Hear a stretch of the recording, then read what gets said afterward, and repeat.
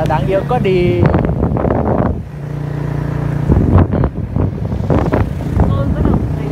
Tôi bắt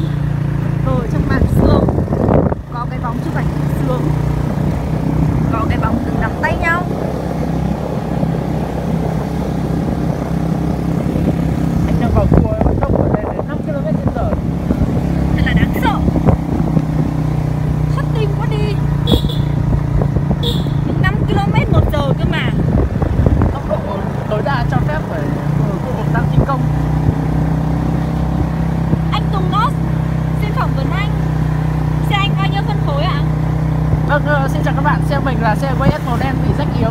Biển số 4204 và phân khối của nó là 100 Và anh đã chuẩn bị lên đến đỉnh chưa? Cảm nhận nhận của anh ờ, Theo như đúng lộ trình thì đường lên đến đỉnh sẽ dài